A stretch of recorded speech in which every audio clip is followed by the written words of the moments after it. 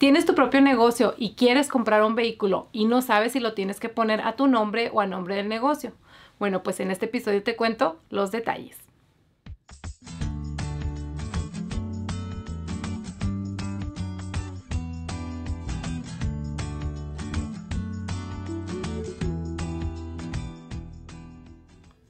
Hola y bienvenidos a este episodio de Y tú también puedes. Les saluda su amiga Miriam Genet. Los vehículos están envueltos en la mayoría de los negocios y nosotros queremos asegurarnos de poder obtener un beneficio fiscal por cada carro, vehículo, troca o camioneta que compramos para nuestro negocio. Entonces, ¿cuál es la manera correcta? ¿Cómo tenemos nosotros que registrar o a nombre de quién tienen que estar nuestros vehículos para poder deducirlos de impuestos? Y bueno, miren, en este episodio vamos a estar hablando acerca de dos tipos de vehículos. Los vehículos que son para uso exclusivo del negocio y otros vehículos que pudiera comprar el dueño del negocio para usarlos parte personal y partes para el negocio. Ahora, ¿cuáles son algunos ejemplos de vehículos que son de uso exclusivo del negocio? Bueno, por ejemplo, si nosotros tenemos un negocio de towing o de grúas, ¿verdad? Si compramos las grúas, esas grúas obviamente son para uso exclusivo del negocio. Igualmente, si tenemos nosotros un negocio de trucking o una compañía de transporte, también, ¿verdad? Esos transportes o esos vehículos de transporte son para uso exclusivo del negocio. O si tenemos nosotros una florería y compramos una ven, ¿verdad? Y la adaptamos para poder acomodar todos esos arreglos florales que vamos a ir a entregar, pues ese sería un vehículo para uso exclusivo del negocio. Ahora, muchos dueños de negocio, a veces ellos andan, por así decirlo, en la calle todo el día y deciden comprar un vehículo el cual se pueden llevar a su casa, pero también lo usan para el negocio. Entonces, eso se los explico para que puedan entender la diferencia. Ahora, cuando nosotros compramos un vehículo, podemos decir que adquirimos dos tipos de responsabilidades. Una es obviamente la responsabilidad financiera, puesto que nosotros vamos a pagar por el vehículo. Y la otra es una responsabilidad legal, ¿verdad? Es decir, que nosotros queremos tener una registración para ese vehículo, traer nuestras placas vigentes y que nuestra licencia sea apropiada para el tipo de vehículo que estamos conduciendo. Entonces, teniendo esto en cuenta, hablemos primeramente de los vehículos que son para uso exclusivo del negocio ¿Cómo tienen que estar registrados? Bueno, miren, en el caso de un self-employed o un sole proprietor o lo que sería en español un trabajador independiente y un dueño único de negocio, ellos pudiéramos decir que tienen la opción de tener los vehículos a su nombre personal o pueden tenerlo a nombre del negocio. En este caso, ¿verdad? Como ellos mismos son el negocio, podemos decir que no es relevante si están a nombre de ellos o están a nombre del negocio. Ahora, en el caso de una corporación y una partnership o una asociación, lo apropiado es que los vehículos estén a nombre ya sea de la corporación o a nombre de la asociación. Obviamente en el caso de una asociación hay dos personas o más, ¿verdad? Entonces no querríamos que si vamos a comprar un vehículo, ¿verdad? Con el dinero de la asociación o el dinero de la partnership, que solamente esté a nombre de uno de los partners, ¿verdad? O uno de los socios. Tiene que estar a nombre de la partnership para que ambos socios o el número de socios que haya tengan derecho sobre ese vehículo. Ahora, en el caso de un single member LLC o una LLC que solamente tiene un miembro, ¿verdad? Y que normalmente sería taxado como un sole proprietor, podríamos decir que en ese caso él tiene la opción de dejar los vehículos a su nombre personal o ponerlos a nombre de su LLC. Es algo que se deja a discreción de él. ¿Por qué? Bueno, porque como ya lo he comentado en otros episodios, el propósito de una LLC es hacer una separación entre la propiedad personal del dueño o los miembros de la LLC de lo que tiene que ver con las cosas o las bienes, ¿verdad? En este caso del negocio. Entonces, en el caso de un single member LLC, él debería de discernir qué es exactamente lo que quiere proteger. ¿A qué me refiero? Bueno, miren, por ejemplo, supongamos que en esa instancia, ¿verdad? Una persona que tiene una LLC saca una camioneta, ¿verdad? Que es para uso exclusivo del negocio. Y suponiendo, ¿verdad? Que él se la lleva a su casa. Entonces, si la camioneta o la troca está a su nombre y él llega a tener un accidente, en este caso, como el vehículo está registrado a su nombre, es él, la persona, ¿verdad? El que entra en esta responsabilidad y el que tiene que pagar los daños del accidente. Ahora, si el vehículo está registrado a nombre de la compañía, aunque sean altas horas de la noche o sea fuera de horas de trabajo, sigue siendo la compañía la que es responsable. Una manera de ilustrarlo básicamente es que no es lo mismo que nos choque un camión de la Coca-Cola a que nos choque una persona que viene en un bochito o en un carrito, ¿cierto? Entonces ahí podemos nosotros ver la diferencia. Ahora, cuando nosotros ponemos un vehículo a nombre de una compañía, las aseguranzas por lo general son más caras y eso es algo que todos ustedes tienen que tener en cuenta, ¿verdad? Que el costo de las aseguranzas aumenta. ¿Por qué? Bueno, porque en el caso de las aseguranzas comerciales, ¿verdad? Los límites son diferentes, ya que los riesgos son diferentes. ¿Por qué? Porque estamos entrando en un terreno que tiene que ver con los negocios, con el comercio, con otra industria, ¿cierto? Ahora, en lo que tiene que ver con los vehículos que están a nombre de la compañía, no solamente son los dueños los que manejan esos vehículos, también son los empleados. Entonces, el dueño de la compañía tiene que asegurarse de que los nombres de los empleados o de los trabajadores estén también en las aseguranzas para que estén cubiertos bajo esa póliza. Entonces todas estas cosas, ¿verdad? Pues tienen un costo y es por eso que es mucho más caro, ¿verdad? Tener una aseguranza comercial que tener una aseguranza como una persona privada, por así decirlo.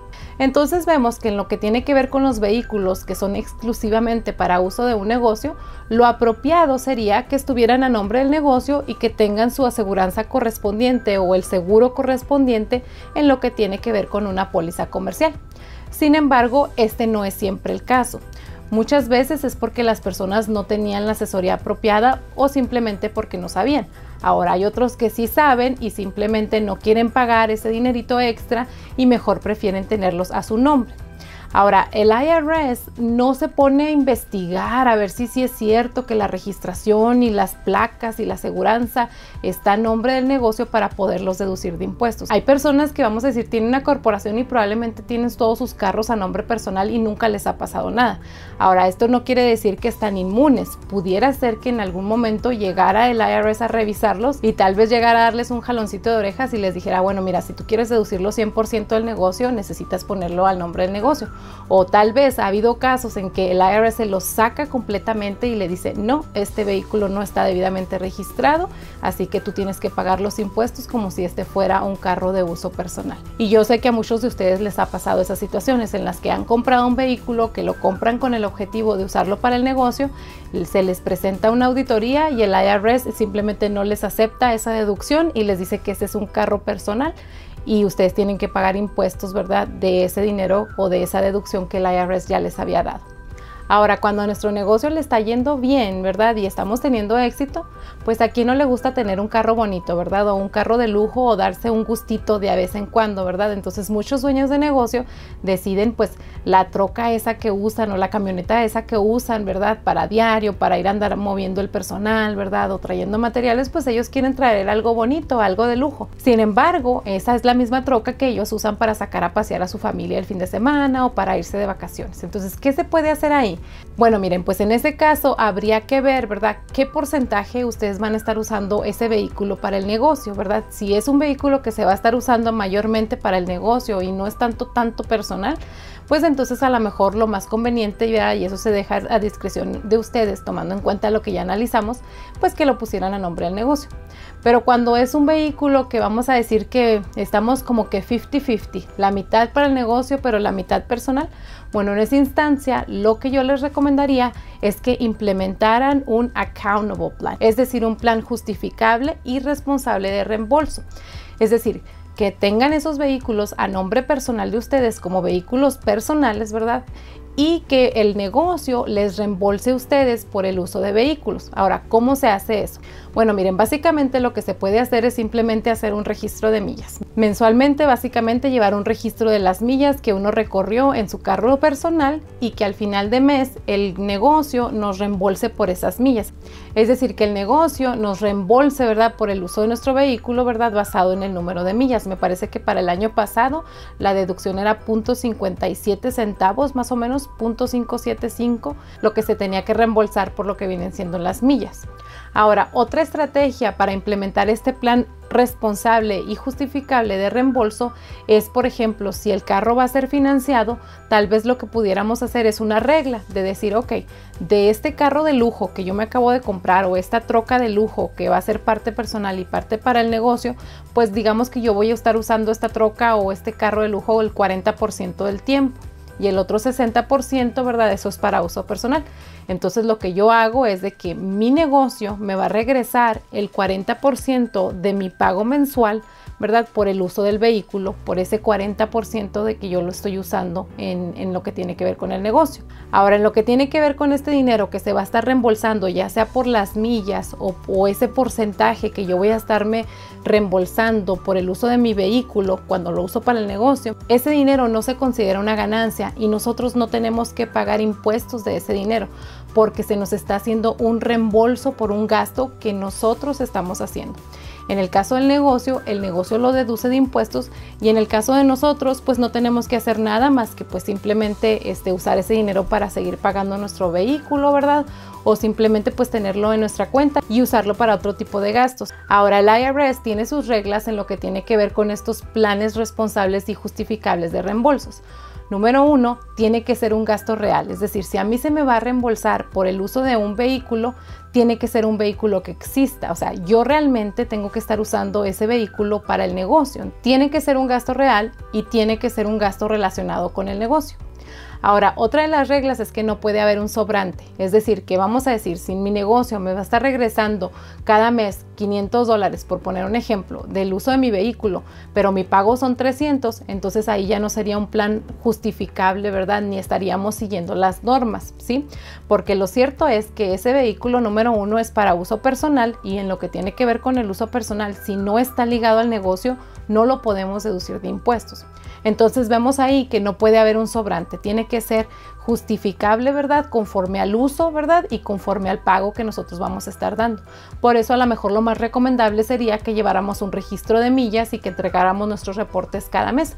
Hoy en día existen varias aplicaciones, algunas incluso son gratis que podemos bajar de nuestro teléfono y es súper sencillo, ¿verdad? Simplemente sacar el total, incluso podemos exportar esa información y, e imprimirla, ¿verdad? Y tener todos esos registros guardados para en caso de una auditoría.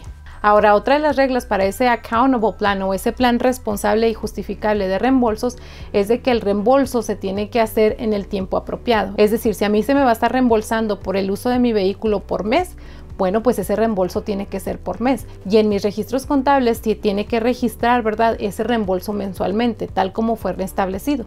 Ahora, una sugerencia que yo les doy es de que si ustedes van a establecer un accountable plan, es decir, un plan responsable y justificable en lo que tiene que ver con los reembolsos de este tipo de gastos, es que lo pongan por escrito.